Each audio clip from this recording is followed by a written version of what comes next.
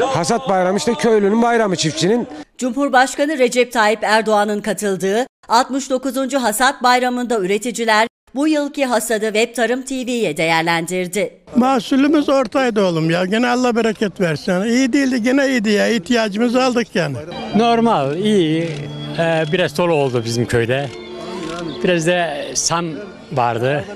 Kelleler yine bereket versin. Hakiki seneden biraz iyi. Ha, genel olarak tabii iyiydi ama biraz da tolu falan vurdu. Ee, insanlar biraz mağdur oldular. Ama genelde iyiydi yani. Geçen seneye nazaran iyiydi bilmiyorum yani. Bu sene hasat e, biraz kuraktı. Yani yağışlar oldu ama geç oldu. Biraz sam vurgunlar oldu. Hasat güzel, iyi geçti. Biraz sam vurgun olan buğdaylarımız vardı. Ee, Bizim köyün bazı kesimlerinde de biraz tola hasarı da oldu. Normal yani iyiydi bu sene de yine.